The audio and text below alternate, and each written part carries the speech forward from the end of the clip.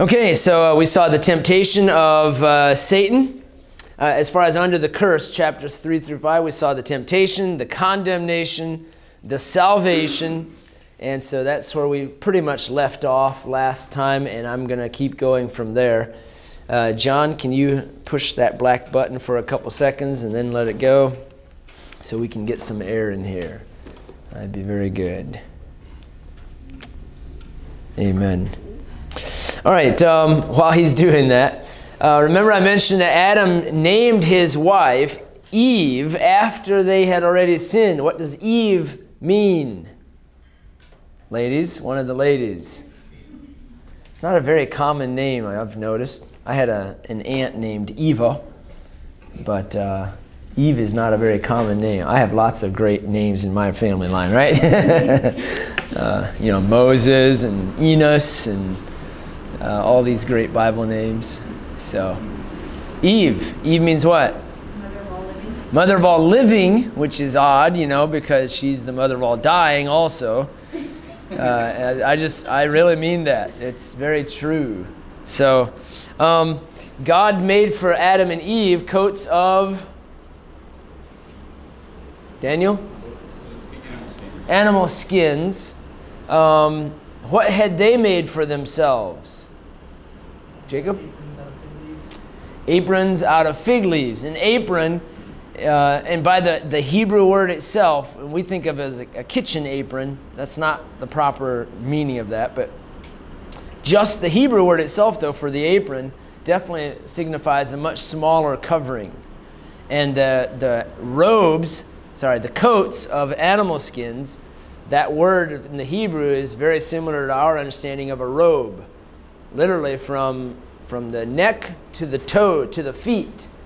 Uh, it's a complete robe. And so it's interesting that they tried to cover themselves up in their sin, and God came along and covered them with the blood, sorry, with the skin of an animal that cost that animal its life and its blood.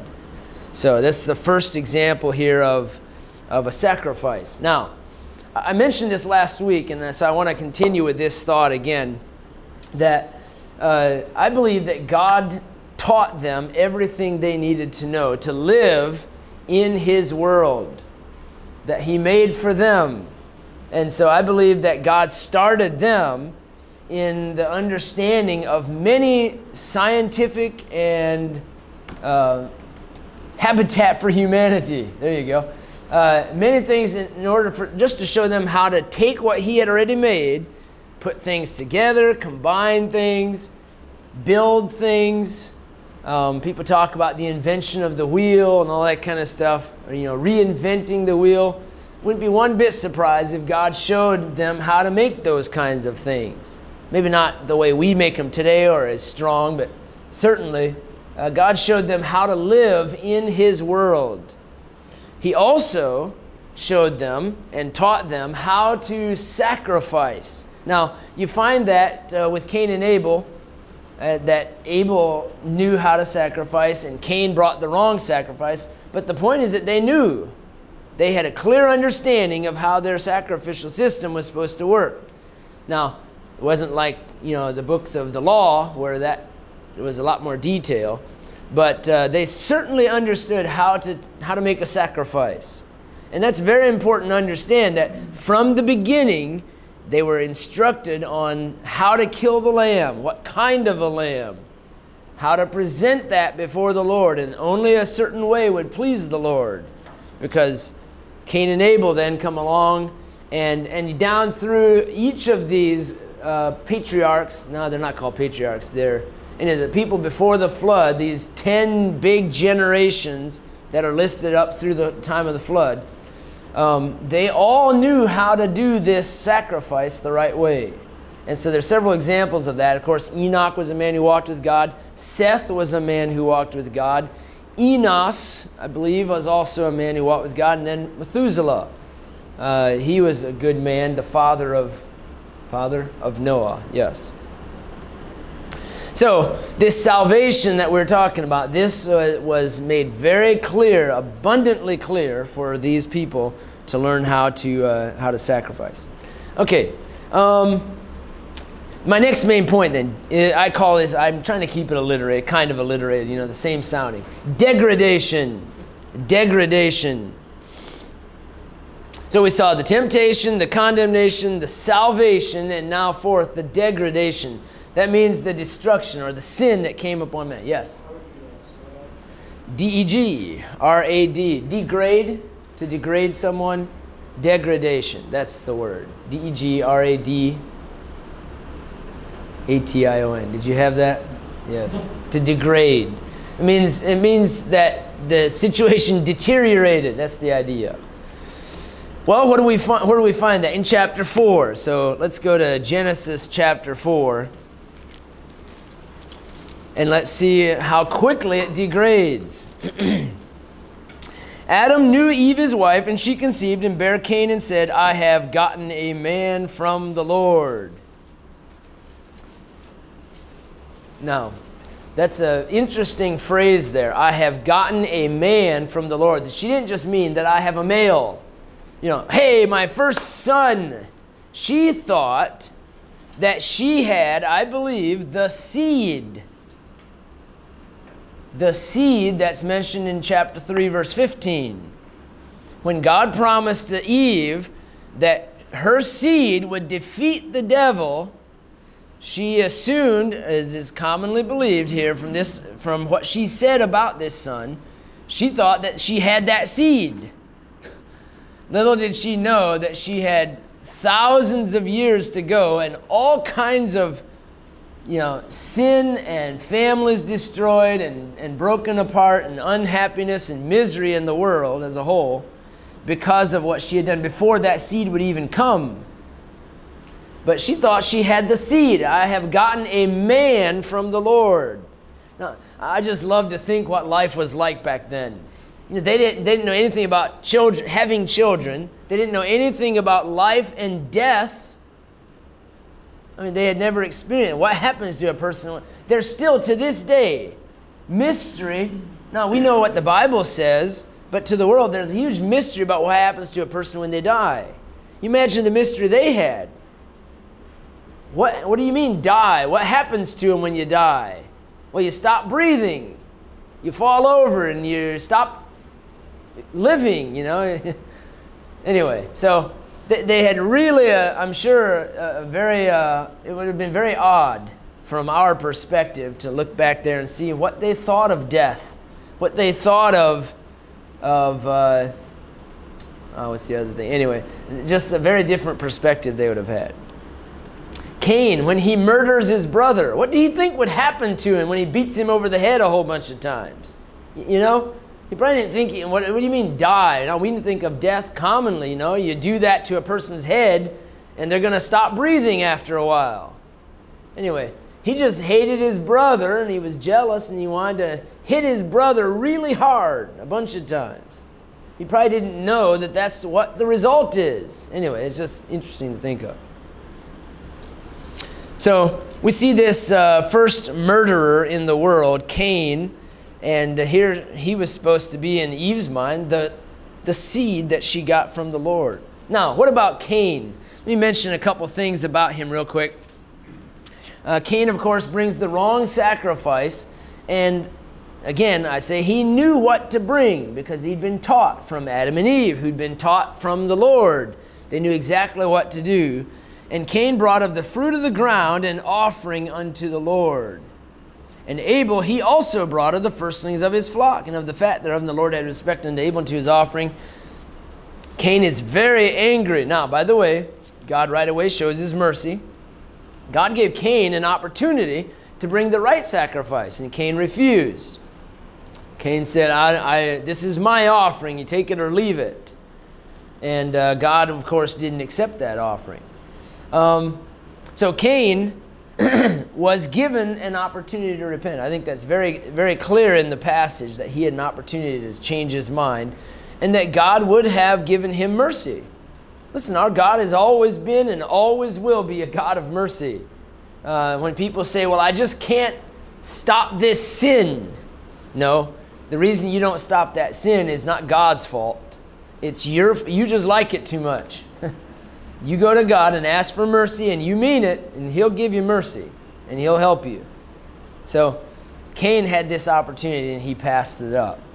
So, anyway, of course, we know the story. He ends up uh, killing his brother, and uh, he asks a rhetorical, and we act like sometimes this question is not for us. You know, he said, Am I my brother's keeper? The answer is yes. You are your brother's keeper. You're responsible for your brother in some way, at least partially. You're, you're supposed to be, as Jesus put it much later on, a neighbor to everybody you meet. So, yes, you are your brother's keeper. um, it's not just Caleb and Austin, it's everybody we meet is uh, we're responsible to help them if they need it or to talk to them and encourage whatever you know and as far as soul winning that definitely applies all right so cain kills his brother let's see what he does then next the lord puts a mark on cain puts a mark on him what was that mark Oh, we don't know. Look at verse uh, 14. Cain says to the Lord, My punishment is greater than I can bear. Behold, thou hast driven me out this day from the face of the earth. From thy face shall I be hid. And I shall be a fugitive and a vagabond in the earth. Everyone that findeth me shall slay me. The Lord set a mark upon Cain, lest any finding him should kill him. All right, what, what, any ideas? I have no idea, to be honest with you. Um, this mark was something visible, something that everybody could see. Any ideas, John? Thought you were raising your hand. Oh yes, go ahead. Yeah, that's right. I believe that black people are from Cain. Sure. Which is not physically possible. Which is not physically possible. And anyway, so that's a ridiculous argument.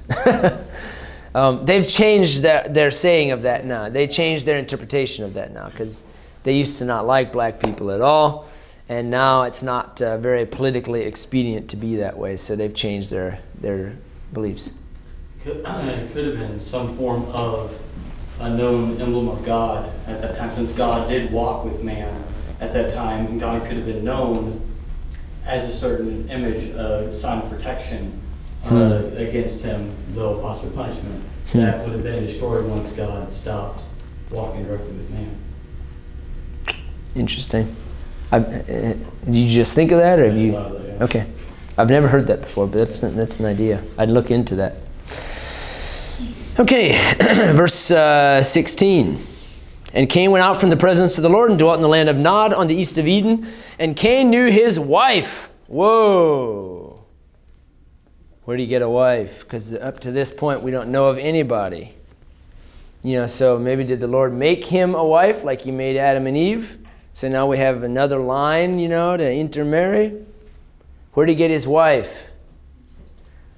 His sister, Juliana says, and then she cringes. sister. All right. Any, anybody else? Anybody who thinks it was his sister?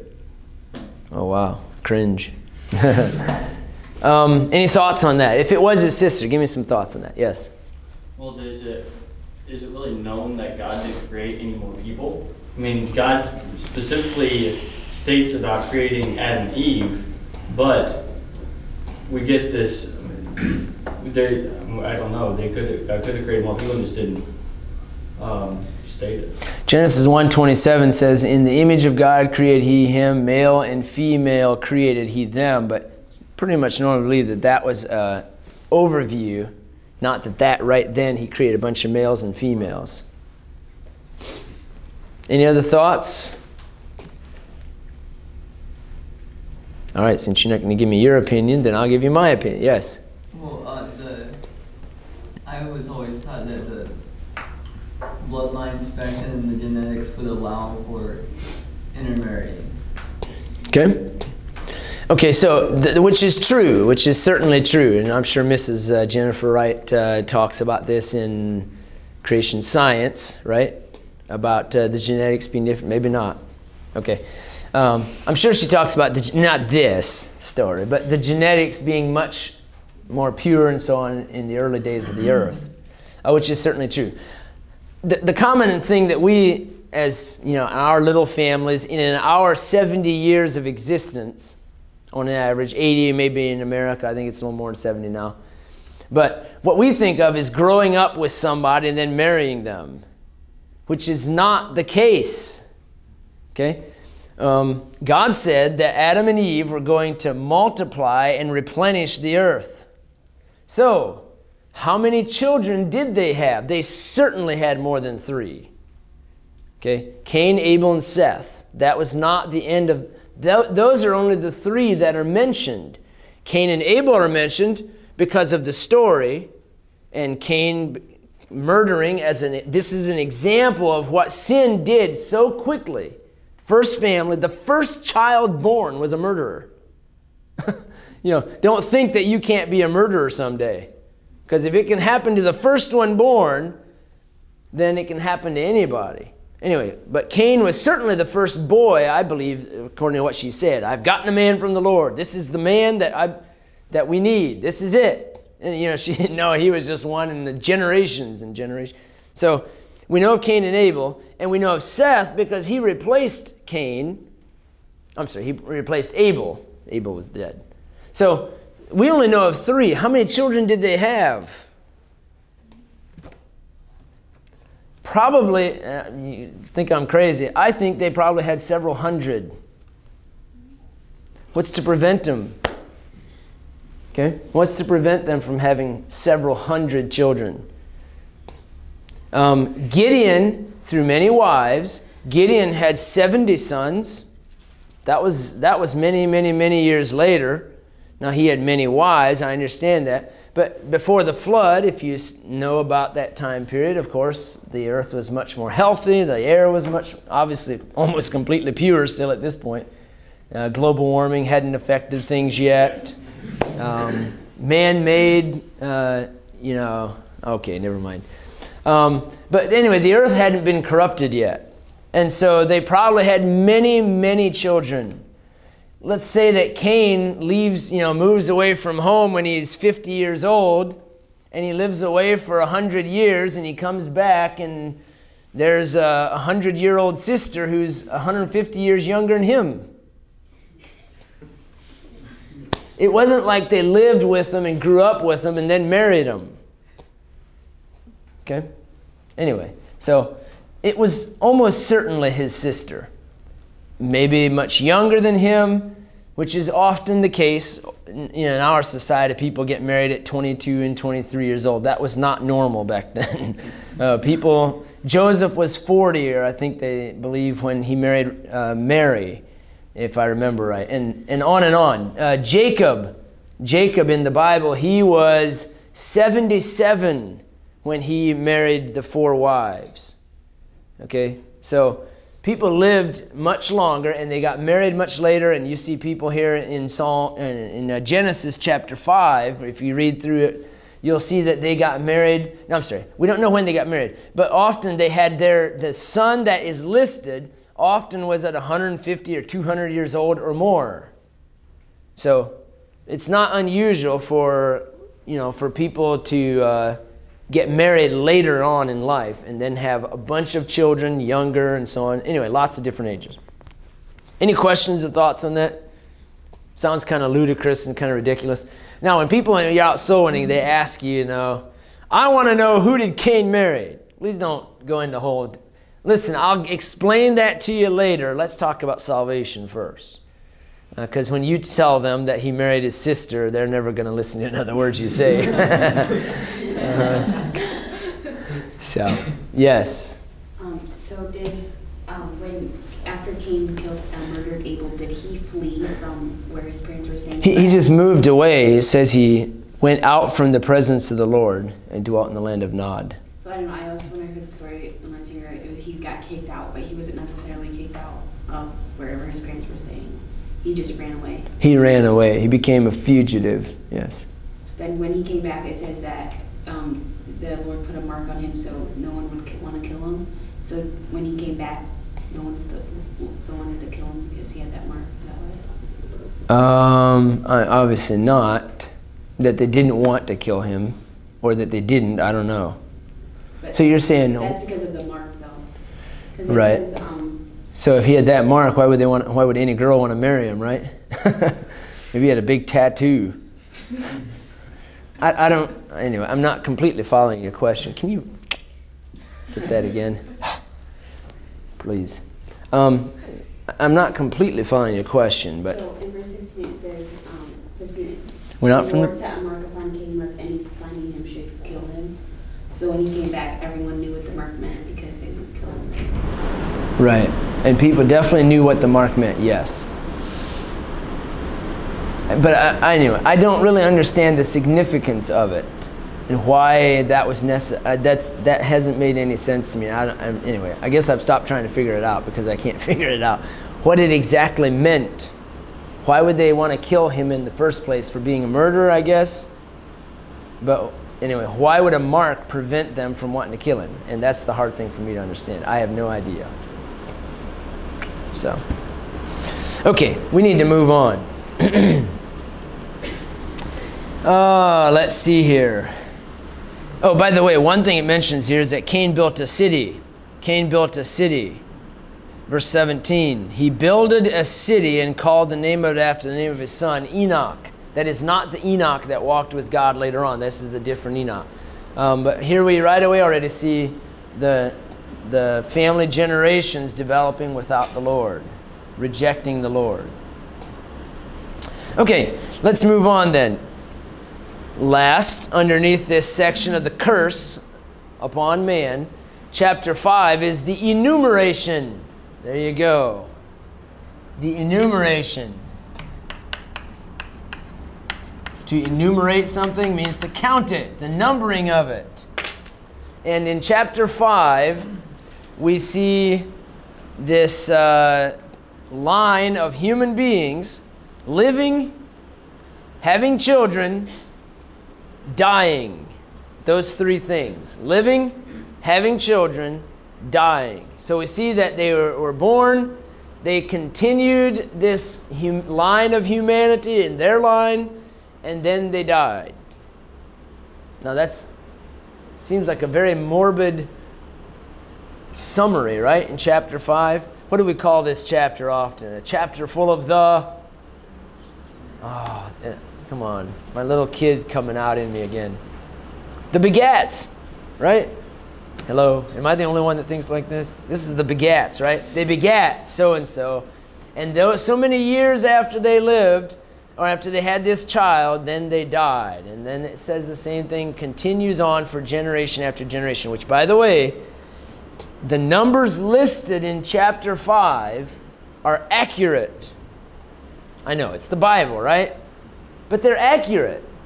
So we know from these numbers, we know how many years went by from the time Adam was created until the flood takes place.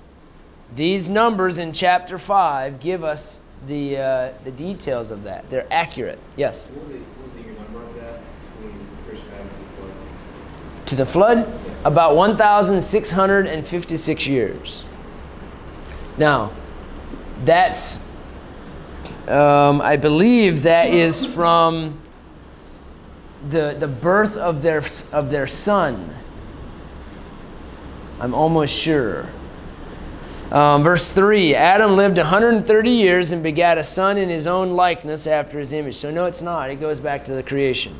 And called his name Seth. The days of Adam after he begat Seth were 800 years. He begat sons and daughters. All the days that Adam lived. Okay, there it is. Yes, it is. 930 years.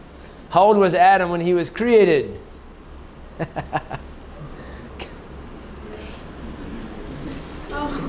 right?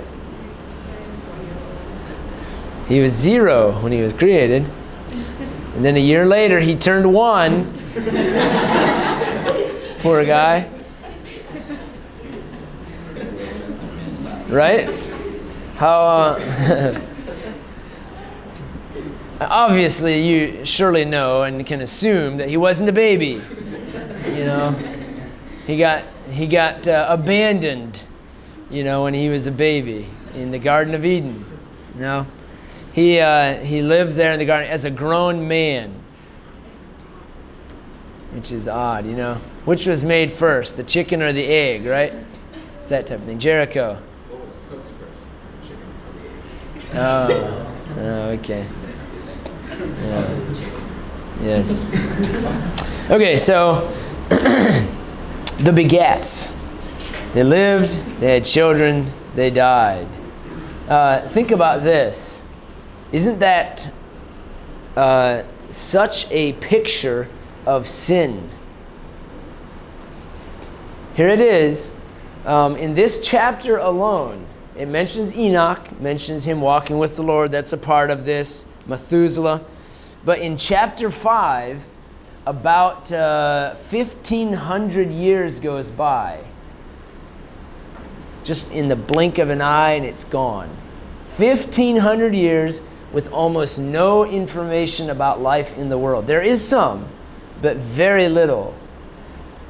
Think about that. That's life and death, life and death. And these people lived longer than anybody else in history. The longest living people in the world, their life is just zapped up that quick in chapter 5 of Genesis. And hardly anything said about them. Abraham lived 175 years, and we have like a dozen chapters written about him. But here, these people who live so long, and their life is just gone in a snap. And uh, I think it's great, a great illustration of life. When, when they rejected God that quick, I mean, it was gone, it was over. It wasn't impressive to God at all that they lived so long. And another, another very interesting thing, and I don't have time to go into it, but Psalm 90 is written by Moses. Moses lived number of hundred years after the flood, of course. And, and of course, even at Moses' time, they lived longer than they do now. He died at 120, but that was just because it was his time to go, not because his strength was abated or his age hadn't gotten to him. He's 120 years old. And what did Moses say in, in uh, Psalm 90? He said, A thousand years are as a day in the sight of God. And there's no question in my mind because he's talking about in the old days. You know, it's us, we think in, in Moses in the old days. Moses was talking about seven, eight hundred years before him that people used to live a lot longer. And those thousand years that they lived, these long lifespans, were as a day in the eyes of God. And then he says, and later in that chapter in Psalm 90, he says, and all we get is 70 years, and if you're lucky, you get 80. it's not fair, is it? But it's the result of sin. Sin shortens life. Sin, sin brings an end to, to life. So, of course, you know that. The punishment for sin is death. And it's very true. And this chapter is full of death, death, death. They all lived long lives and they weren't very fruitful and productive. They just they lived and they had children, then they died. It's pretty amazing. The enumeration, the listing out of the generations. All right, now that brings us to the next main section. Uh, we talked about the uh, creation. We talked about the curse. Let's see here. We now look at the catastrophe. The catastrophe that came with the flood. All right, let me uh, give you a little little opinion here. This is my belief here. Chapter 6.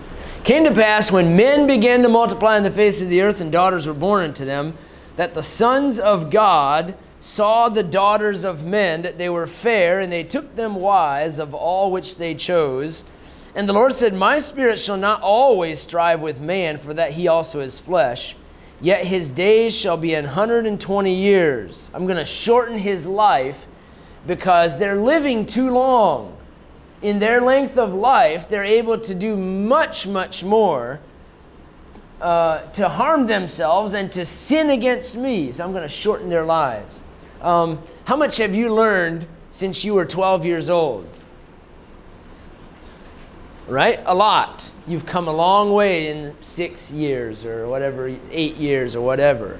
You've come a long way. Um, when I was 20, that was 21 years ago, I've learned a lot since I was 20. and off, I mean, just things, even things how to do things and the best way to do things. um, for me, right?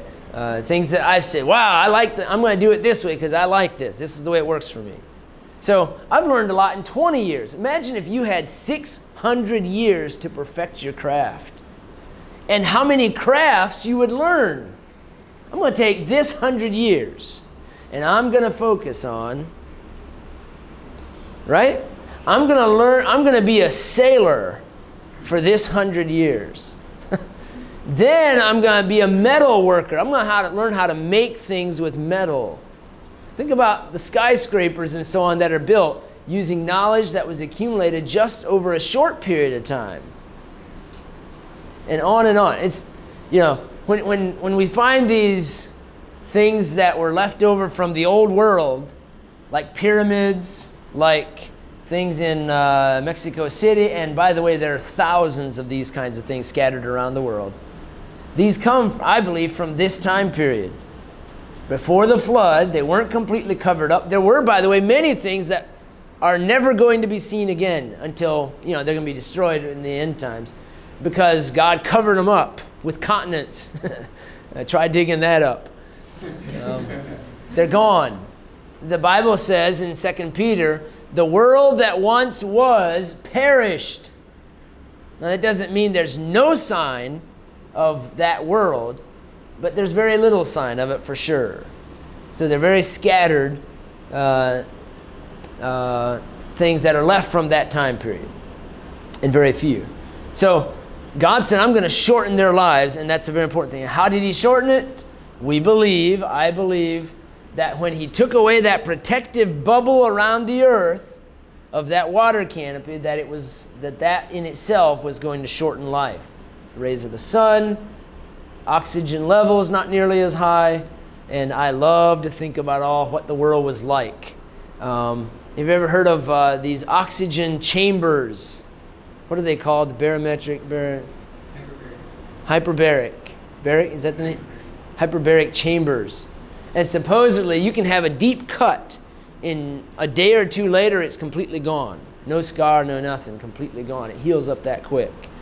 Um, it's believed that people could easily, and this is from the size of bones that have been discovered of, of human beings, the size of uh, footprints that have been discovered, and there's thousands of these kinds of examples.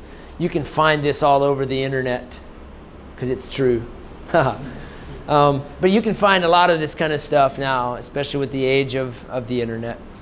Um, but it's really interesting. It's believed people were bigger. Of course, lizards grew much bigger, and what we call now dinosaurs, and so on. There's lots of things that are very interesting. Everything grew.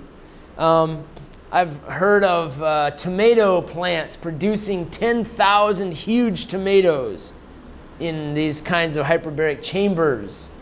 Um, they just produce, and trees would have been massive, and just on and on and on.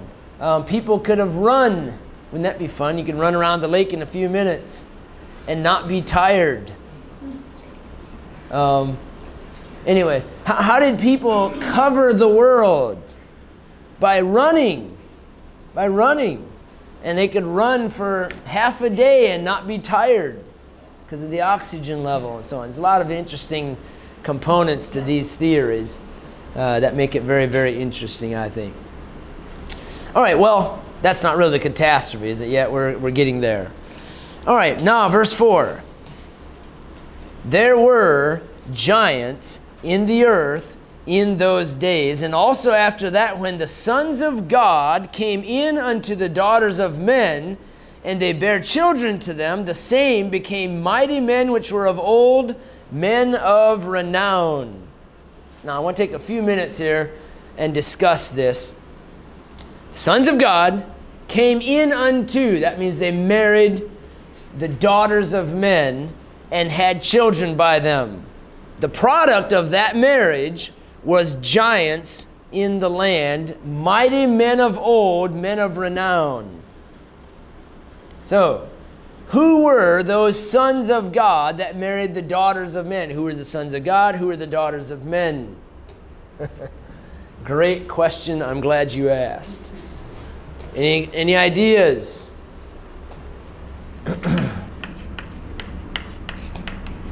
Who were the sons of God? Let me give you a couple of possibilities. Diego. The line of Seth.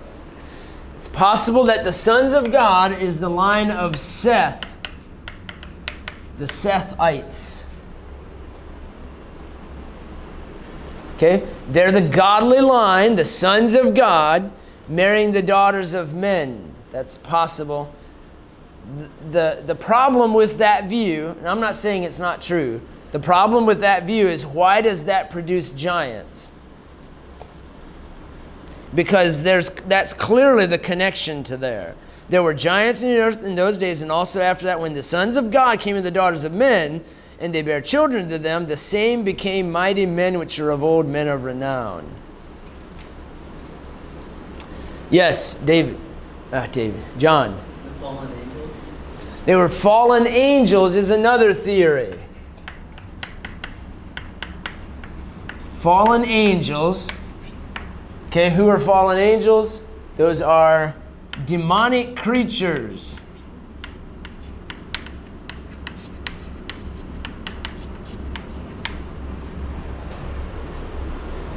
Why would you say that?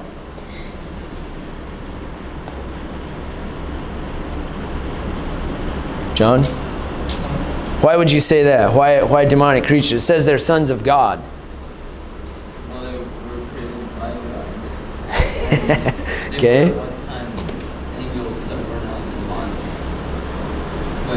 um, So are these good angels or bad they're angels? bad. They're bad angels. Obviously, they're bad because of the context, right? Sons of God, daughters of men, so they were bad angels. Any other thoughts? It could be the angels that the Lord cast out of heaven. Which would be the demonic angels. But why, why, where do you get angels, demonic angels, from these verses? It says they were sons of God. Diego. So usually in the Old Testament, when the sons of God are brought up, it's in reference to angels. Or, It's in reference or to uh, angels. Or in Job, when God calls the sons of God, the angels are there Lucifer. Okay, you mentioned Job, so let's turn over to Job chapter 1. In the book of Job, chapter 1. By the way, it's understandable that the spirit world, which I'm not being creepy or mystical or anything, it's reality, okay? There is a demonic world. There is the, the you know, the heaven. There is the the angels. You know, you can call them what you want to call them. Call them guardian angels, but there are angels and there are demons. So we have our kind of names for them, and you know the weird idea is that you know you become a guardian angel if you get your own wings and the bell rings, you know. but there is certainly angels that protect us. I mean, that's what the angels did for Jesus. You know, they they'll bear thee up, lest at any time thou dash thy foot against a stone. I mean, that was the guardian angel of Jesus Christ. I mean, call it what you want to call it, it's an angel. Well, there are also demonic worlds. And look what these demons did in chapter 1 of Job, verse 6. Now there was a day when the sons of God came to present themselves before the Lord, and Satan came also among them. Now, this term here, the sons of God, is not talking about like Jesus was a son of God. It's clear reference in the Hebrew. The, the, uh, it's a clear reference to, to uh, demonic spirit, to spirits. And when it says here, the sons of God, this is not in reference to a good thing, a- you know, as if they're the sons of God here. These are evil spirits presenting themselves before the Lord, and Satan is one of them. He's among them.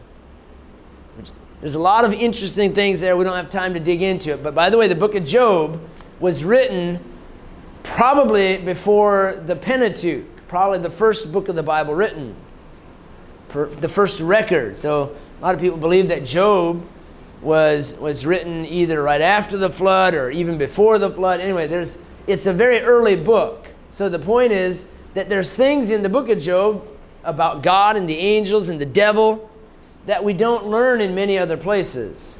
God gives us a little insight into this. But what happened here? They present themselves. So we know that the demonic spirits and the devil report to God. they are they are under his authority.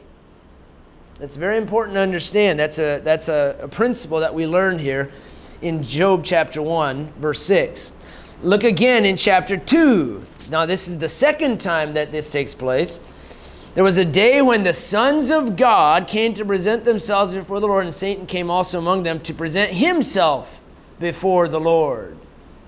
So, Satan did present himself, the demons presented themselves, and the sons of God, the meaning there is it literally has something to do with angels, demonic angels. So, is that the same word that in the Hebrew that's used in the book of Genesis? And the answer is yes. It is. Yes. Caleb. Um, have you ever heard the argument? Because I know I actually heard a whole series of sermons on the sons of God and Job, and um, he was actually saying that the sons of God was referring to people on earth that were like making requests or praying to God, and that Satan was like, I don't know, I don't exactly understand what he was trying to say, but have you ever heard that like, view of it? Okay, say that. What were they identified as? The sons of God were actually people, like praying to God, or like So these are godly people that's what he was saying. who intermarried. No, in Job, he was saying that Oh, oh. the sons of God in Job. Oh, oh, they, I see. You know, coming to the Lord were actually people on earth, and Satan was, you know, also coming to God and like. Okay, I've not heard that, but um, I would be open to certain, certainly open to looking into that. My understanding, and I don't know Hebrew, but my understanding is that that is the same word as used in Genesis chapter six, and it, and it could certainly mean uh, on a spirit level, not on a human level. Let me give you one other passage that also, and maybe you have an answer for this too, I don't know. Job 38, verse 7 is another time where we see this used. Job 38, verse 7. Uh, here the Lord is speaking to Job out of a whirlwind. And he says, When the morning stars sang together, oh, back up. The whole, the whole context of the passage is Job, where were you when I created everything? Where were you? And the, the answer, the obvious answer is, um, I wasn't in existence. Man was not in existence when the world was created. So the, the, the rhetorical answer is nowhere.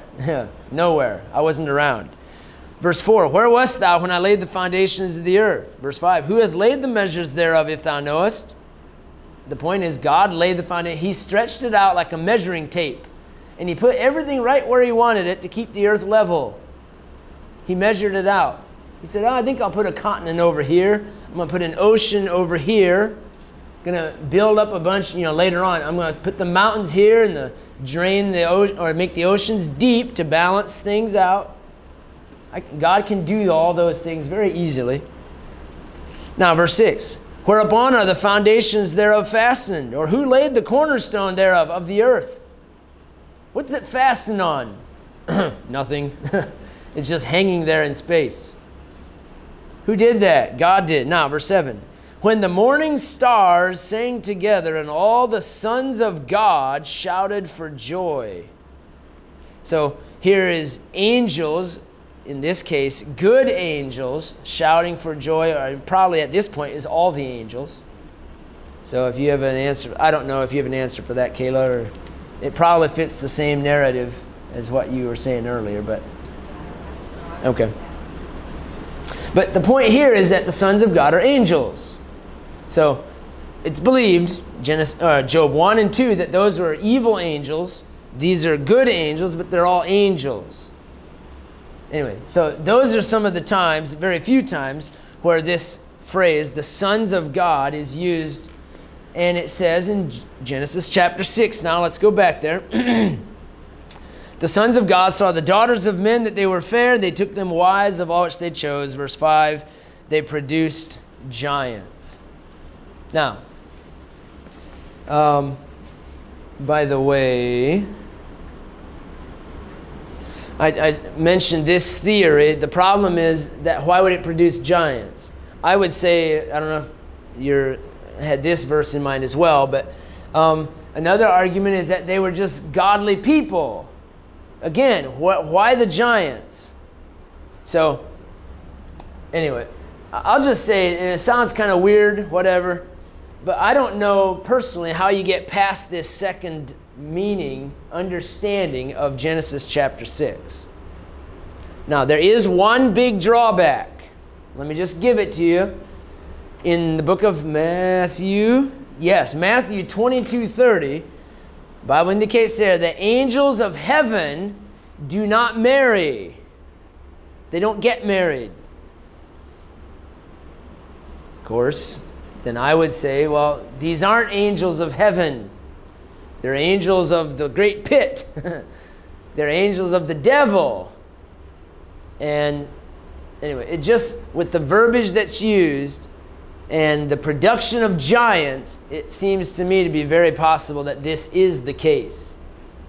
And by the way, you don't find any godly giants in the Bible. no, that was coming from me because I'm short. Yes. There's actually a paragraph from Dr. Williams talks Yes. about this. It says children born as perfect marriages with demon. They say that said that they probably I'll say they would control the serpent in the Garden of Eden. How it wasn't necessarily the, the demons themselves marrying these it was actually those men that were being possessed by demons, Mhm. controlling those their bodies and giving them such great size. It says that the Hebrew word so translates from meaning means fallen once. Fallen ones. So, Mhm. and so he's saying that,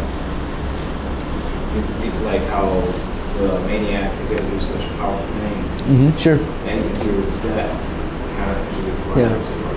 So I I think it still fits the idea that these sons of God, whether they were actual demonic angels themselves coming down and actually physically marrying these women or possessing these men on earth and somehow producing them, causing those women that they married to have giants as, as uh, offspring.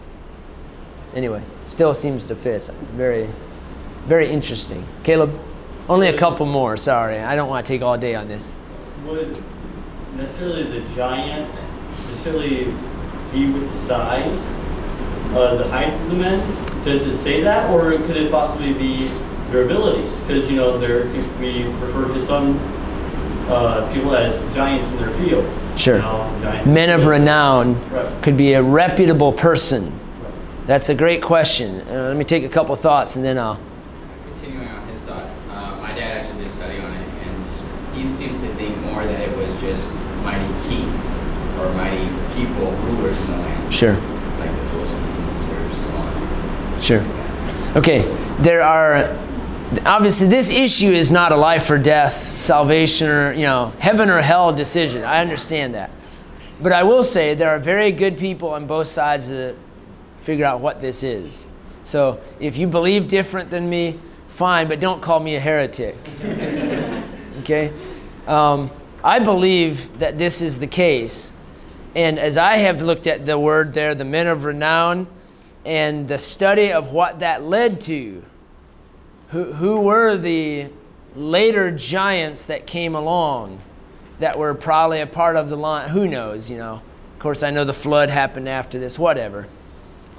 Uh, but, oh, no, never mind. That doesn't apply. But you, get, uh, anyway, don't think that this is life or death situation here, you know, if I believe. But I will say, until a few hundred years ago, as I have looked it up and I've tried to find who believed this, you know, writers, writers, biblical writers, writing on this passage, what did they say about it? And even several hundred years ago, I get the impression that about everybody believed that these were demonic possessed, demon possessed people marrying the, the daughters of men. So it's been a long held belief, is my point. Take that for what it's worth.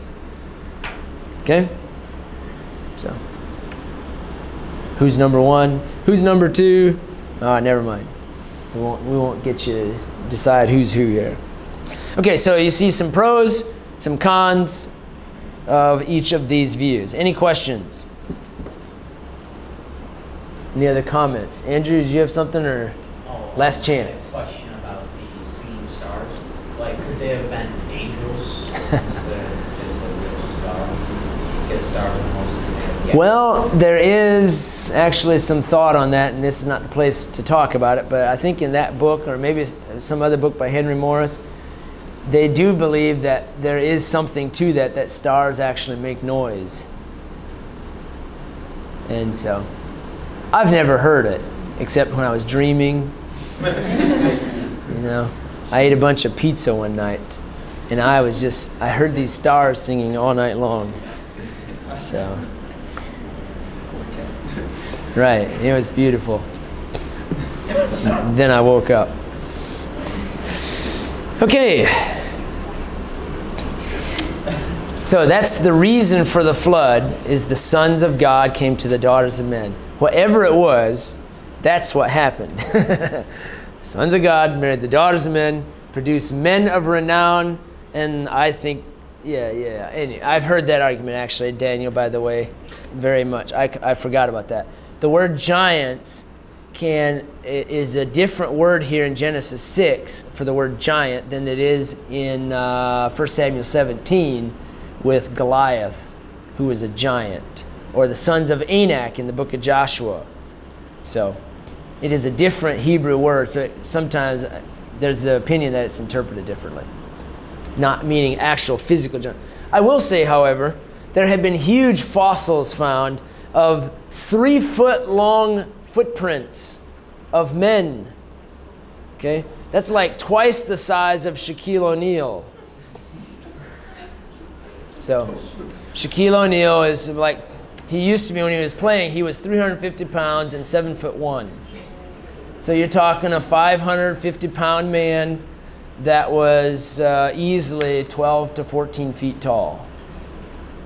Yes. I mean, at that point, there's Here we go. Fun stuff. Yeah, but I, on that point, uh, like we're not the smallest people in you know in creation. There's animals that are a lot smaller than us, animals that are a lot larger than us. But in you know we have had the dinosaurs and stuff, which would be massive compared to our physical bodies nowadays. So it makes sense, fortunately, if Yes. human beings back then were much larger than they are Absolutely. nowadays because everything grew Sure. much larger. Absolutely. Can you imagine a 12 foot tall person running a race in the days before the flood with the oxygen levels as they were? I've, I've talked about this before, but not in here. But it, it, you know, you think about the, the, the ramifications of that. For, for a 12 foot person to run 50 miles would have taken an hour just scoot along. When you get there, you're there. You go visit grandma. Think about how fast they could cover territory that way, cover the earth. You know, in a week's time, you know, the whole family could run along, uh, you know, and just jogging. It's, it's really pretty ridiculous, out of control to think about. I, I enjoy thinking about that stuff. Okay, that's the reason for the flood, regardless of what it all means. Um, second, let's talk about the preparation for the flood. This is all under the catastrophe, the preparation for the, for the flood. Uh, let me mention a couple thoughts to you. uh, we see, first of all, Noah's character underneath this. Noah's character. Uh, the Bible says in verse number 8, but Noah found grace in the eyes of the Lord. Noah found grace. Um, God's goodness. What, what, that means is not that, uh, that God happened to notice, oh, I'm going to destroy the world, but whoa, whoa, there's this, like, this one light shining at me, and it, it's Noah. No, no. It literally means that God was looking for some way not to destroy everybody. Noah found grace. God was looking for Noah, looking for somebody. And he searched the world over in his grace he searched the world over and he found Noah. He wanted to show grace. What is grace? The goodness of God. It's not really, it's the opposite side of the coin is the mercy of God. God wasn't saying, I should really show mercy to somebody. Okay, there's somebody I can show mercy to. No, no. God was looking for somebody to show his goodness to them. And he found Noah. And uh, of course, we know the, the story goes from there. But Noah's character, he was a man who, uh, well, where am I at here? Verse 9, there it is. Noah was a just man and perfect in his generations, and Noah walked with God. He's one of these who had learned from his great grandfather, I think it was, great grandfather Enoch, what it meant to walk with God. Now, I, I forgot this part of it, and this is a fun part. Do I have time for this? No, I don't, but I will do it anyway. Um, I did a, a study years ago on the chronology of the flood. If you figure out how long Adam lived, oh, I better erase some of this. From chapter 5 of Genesis through the beginning of chapter 6, if you take Adam's life and he lived 930 years, and you put this on a timeline to Noah, and he lived 600 years uh, before the flood. Okay?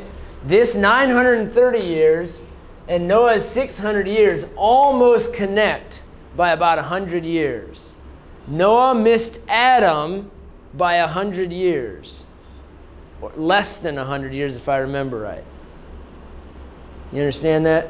So it's like 50 something years, or, or, no, it's about 100 years. I forget exactly the number, but it's, it's really amazing. So that means, of course, that Adam and Enoch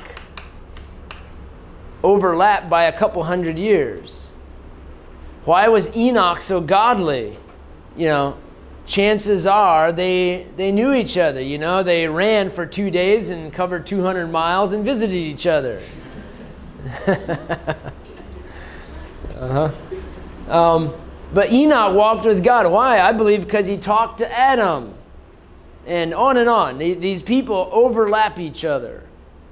Uh, the world before the flood, an amazing, you know, so much stuff there, so many things there that can be talked about. I, I'm just now thinking of in chapter 5 where it talks about the music that they developed and the uh, metal metallurgy that they developed, working with metals, combining different things together, minerals and chemicals and things from the earth, combining them together to make metals and on and on. Very, very developed world. A lot of people believe, Henry Morris believes that there was over a billion people in the world by the time of the flood. That's one seventh the number of today. So, just a lot of very interesting things. But the chronology of that, look that up sometime. Fit in all of Genesis chapter 5, where they were, and you'll see all of this overlapping here. Um, Methuselah of course, the Bible says that he died the year the flood came. Part of what Enoch also, why he was godly and walked with God, is when his son was born. His son was Methuselah, and the name Methuselah means when he dies, it shall come. He was some way warned, Enoch was warned, of the coming judgment of God in a great flood. And from that time on, when, e, uh, when Methuselah was born until, it, until the flood came, no, sorry, until Enoch was taken away, he walked with the Lord. Did you know that we have some of Enoch's sermons in the Bible? Enoch was a prophet and a preacher. Don't look it up. You, are you Googling it real quick? no, go ahead. I'm kidding. Anybody know where that's found? Enoch's sermon. It's very clearly listed. You see, I'm towards the back of my Bible. You don't believe me, I can tell. Uh, Jude, verse 14. And Enoch also, the seventh from Adam. Now, that, that in, a, in itself is amazing. Did you know that Enoch was the seventh generation in Genesis chapter 5 from Adam? Jude says this the seventh from Adam prophesied of these, saying, Jude had Enoch's sermons, probably on MP3 or, you know, uh, his, uh, had CDs that were passed down, developed by Lamech in, in Genesis 5. Um, what did Enoch preach? Behold, the Lord cometh with ten thousands of his saints to execute judgment upon all and to convince all that are ungodly among them of all their ungodly deeds which they have ungodly committed, and of all their hard speeches which ungodly sinners have spoken against him. I think Enoch likes to preach against the ungodly, just gathering that from his message. Isn't that something? Uh, the world that was before the flood. It's amazing stuff. All right, we got to get back to our notes here. Noah's character, we saw that. He was a just man man's corruption next. I want you to see man's corruption. Man had become so wicked. The Bible says every imagination of the thoughts of his heart was only evil continually. Man was corrupted. So, what did God do? He instructed Noah to build an ark for the saving of his house. The Bible tells us in Hebrews chapter 11 for the saving of his house and of course, we believe that many, many, many others could have and should have also been saved on that ark. Uh, it's probable that the entire top level of the three storied ark was for people, was for human beings, and they all uh, rejected it except for Noah and his wife, three sons and their wives. And again, chances are Noah had other children who were caught up in the world and rejected the Lord and were drowned. Um, so the preparation for the flood. Next, I want you to see the ark's instructions. If you haven't written that down, did I give you that, Ray? The instructions for building the ark. The ark's instructions. This ark is a barge-like structure, not a boat. uh, there is a difference. It's a barge-like structure. Um, it was built as a big box who has been to the Ark Encounter in Kentucky? Ohio? Ohio. Kentucky. All right. Anyway, a few of you have. Uh, I haven't been there. I want to go there. We'll go there, I think, next summer. I want to see the place.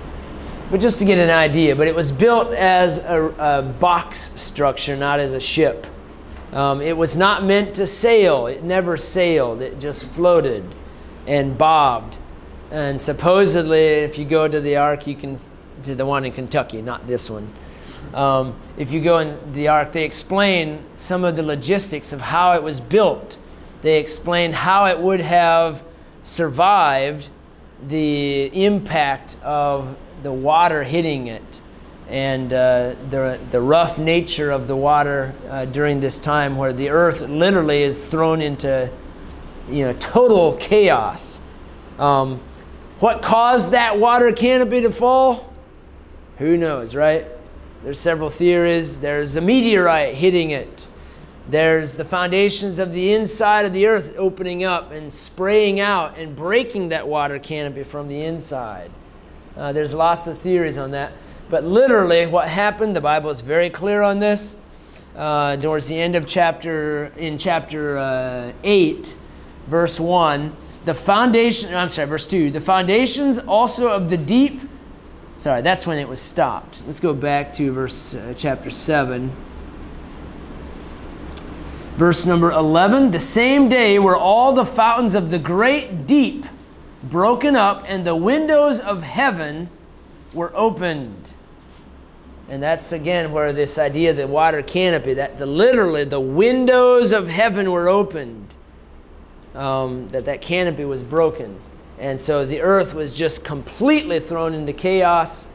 And, uh, you know, and again, we, we can't even fathom the destruction that was instantaneous and then also prolonged through uh, this 40 days and almost a year, a total of about a year of the great uh, the flood coming back down upon the or into the oceans, draining off the continents and into the oceans, and then of course the water uh, cycle beginning. That's the beginning of the water cycle as we know it today. And lots of, you know, everything was totally changed after the flood. The world of the uh, world before the flood was very different. Okay, the size of the ark, you know these things, but let me give them to you. 450 feet long, 75 feet wide, and 45 feet high. That's 15 foot stories, 15 foot stories of each level of the three levels. By the way, that's a minimum. That's assuming the cubit. The cubit being about 18 inches. If that cubit is based upon much bigger people, then it's going to be much bigger than this, which is entirely possible. Jericho? Yes, 450 feet long, 75 feet wide, and 45 feet high.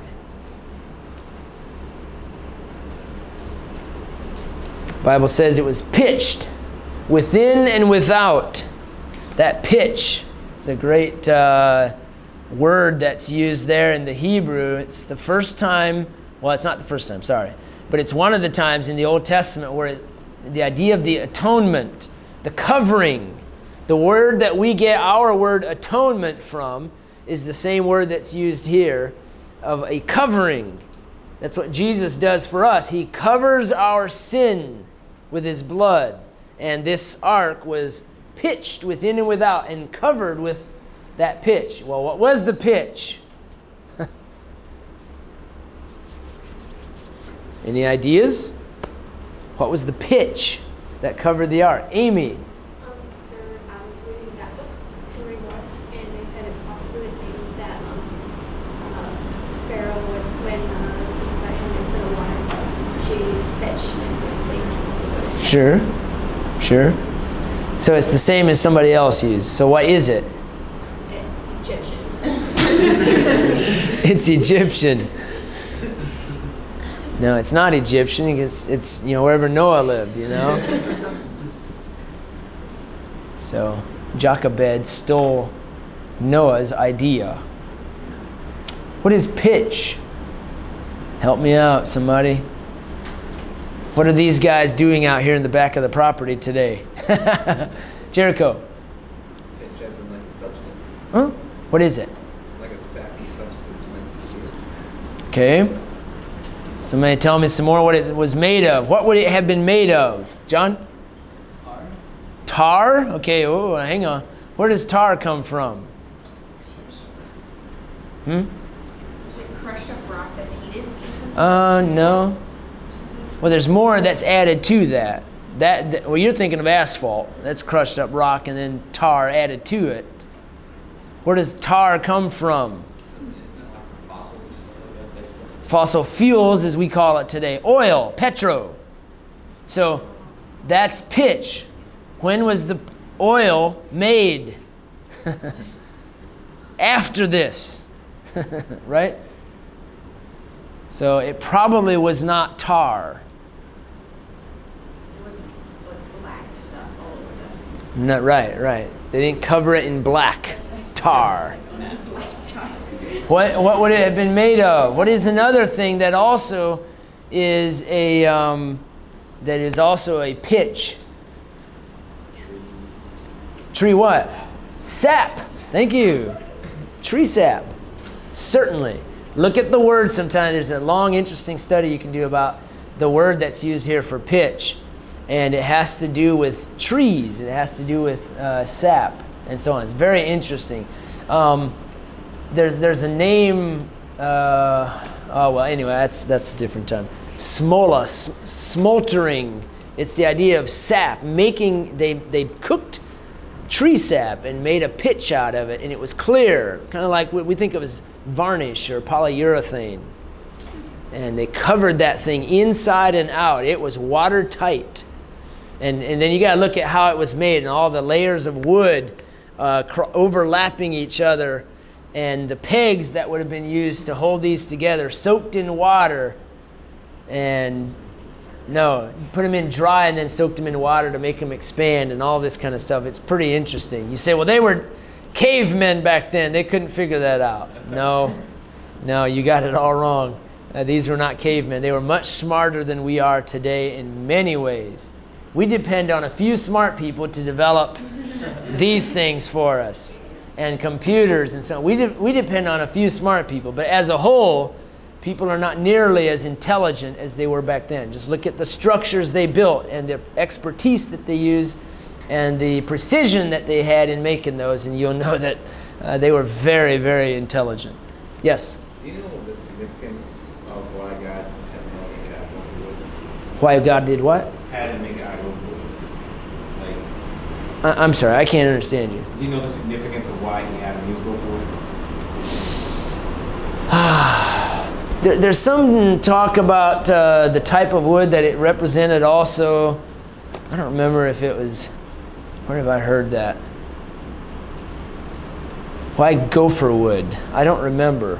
Seems like I've heard that that was the same type of wood. It was called something different with the, the real Ark of the Covenant. Acacia wood, if I remember, it was something related to that. That it might be the same kind of wood, even though it's called different things at different times. I don't know. Maybe I don't know. I've not heard real like was there a huge trees that were around where Noah lived? I don't know that. Okay. So that's the ark. The ark is a picture by the way of Christ and salvation. The ark was their savior. God had a plan of salvation, a plan for the ark told him exactly how to build it, how big to make it, what to do with it, and that was the plan of salvation for them. And so I could use a number of things how this is a picture of salvation of Christ. By the way, they were in the ark for over a year. They lived in the ark for over a year. Um, Bible says, from the 10th day of the second month through the seventh, I'm sorry, the 27th day of the second month, the following year, they were in the ark. That's how long they were in it. Of course, they were in it for a week before the flood actually came. And uh, so it was actually about, anyway, so it was a year and 17 days that they were within the ark. All right, now what changed after the flood? Let me give you these things and I will stop. Let me give you these things here. Um, oh, so right after the flood, God made a covenant with Noah that he'd never send another judgment like this again. And that's found in chapter 9. And so the world after the flood was going to be different than the world before the flood. You see, the flood was the end of the old world. After the flood, God set up a new system, a different system of working with man. Um, he was going to, uh, anyway, it's, it's very obvious that, to me, that very loosely speaking, that the dispensation before the, the flood was different than that one after the flood, up until the time of the law, uh, being given about 1500 uh, BC. So, there are several things that are different now after the flood. Let me mention to you these things. First of all, when Noah came out of the ark, he had a sacrifice to the Lord. He, he gave a sacrifice unto the Lord. Chapter 8, verse 20. Noah built an altar unto the Lord and took of every clean beast and of every clean fowl and offered burnt offerings on the altar. He took one of the two that were left and killed them, right? No. What did he do? Huh? He brought seven, actually, yes. And what's the other thing? They were all alive. Okay, yes. They probably reproduced. While they were on the ark for that year, they probably reproduced. And so there were more. And anyway, so he, he took of every clean beast and fowl. Uh, verse 21 The Lord smelled a sweet savor, and the Lord said in his heart, I will not again curse the ground any more for man's sake, for the imagination of man's heart is evil from his youth. This is the way they're always going to be. Now, this didn't surprise God, but God said, okay, um, I destroyed the world this one time, and I'm not doing it again by use of a flood. Um, this world will be destroyed in the same fashion, not with a flood, but it will be, certainly be destroyed in the same fashion again. Uh, the Bible talks about that in the book of Revelation, in the book of Second Thessalonians. I believe in Second Peter also. Uh, the day of the Lord is going to come, and He's going to devour this earth with His anger and His great wrath is going to be poured out upon this world. And it'll be destroyed in mass chaos. Read the book of Revelation sometime. Talk about the wormwood star hitting the earth and a third of the people dying on the earth. You just imagine right now there's 7 billion people and a bunch of Christians are taken out at the rapture. Let's say there's even 6 billion left. There's probably going to be way more than that. And 2 billion people die at one setting. Billion. That's all of China, all of India and all of uh, what's another country that's over there I was reading. Anyway, but it's humongous countries, the most populated countries in the world, a number of them just knocked out, gone, dead. So this world will certainly be destroyed again in this fashion, but not with a flood. a major, major disaster, obviously, to say the very least. Anyway, the one thing that was going to change is the sacrifice. Get back to the thought here. Another thing that was going to change was the seasons on the earth. Verse 22. The seasons would be different. Verse 22 While the earth remaineth, seed time and harvest, and cold and heat, and summer and winter, and day and night shall not cease. I don't care what the global warming pseudoscientists say. I don't care what the dummies that are politicians say. Um, I don't care what they say. While the earth remaineth, this seasons will, these seasons will continue. It's a fact. God said so. But it comes with a warning while the earth remaineth. In other words, it's not always going to remain. Is there going to be a time where the earth is destroyed? Certainly. Is there going to be a change of seasons? Like drastic? No. Seasons are going to continue forever until God says, not forever, but until God says so while the earth remaineth. Seed time, harvest, sun, uh, summer and winter, cold and heat. Before the flood, there was no cold. There were no poles of the earth that got very little sun, direct sunshine, and therefore very, there was nothing like that. Of course, once the flood hit, uh, the sun, the, the poles of the earth were frozen, and they have remained so, and they will continue to remain so no matter what Al Gore says. All right, next. Can you hit that button one more time again? Um, there would be also forced dominion on earth by man. Man would have dominion. Man would have dominion over the earth. Verse 2 says, The fear of you and the dread of you shall be upon every beast of the earth and upon every fowl of the air. So, evidently, before the flood, the fear of man was not on the beast the same way it is today. Uh, carnivorous animals were not carnivorous before the flood. They ate grass. They ate the uh, the, the uh, vegetation. But man would have to take dominion. Man would be the domineering being on the earth, and the animals would be afraid. Um, fourth, the diet was changed. Thank goodness.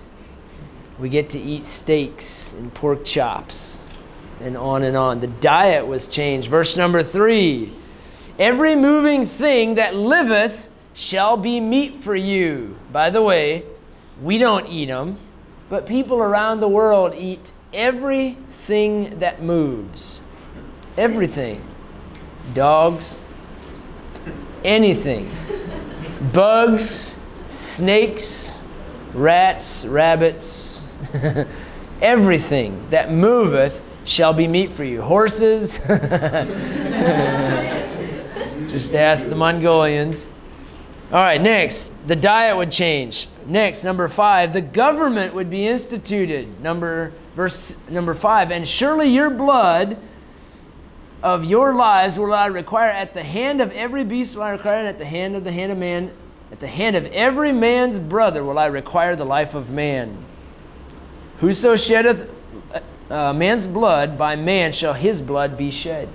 By man, by government, We're going to set up governments on the earth. And because of man being so sinful, you need more government. The worse people get, the more government they need, more outside government they need. And so that's the way it works, and God set it up that way. And then, of course, lastly, God made a promise to summarize all of this up with a rainbow. By the way, that rainbow has been hijacked by the homosexuals. Um, that's not the way God intended for it to be. Um, and so I've heard of Christians who have taken the rainbow and had their own verses put on it from the Bible, what the Bible actually says about the rainbow. What is the rainbow a sign of? God's judgment upon sin. So uh, he'll take care of his own when, it, when the time comes. All right, you're dismissed.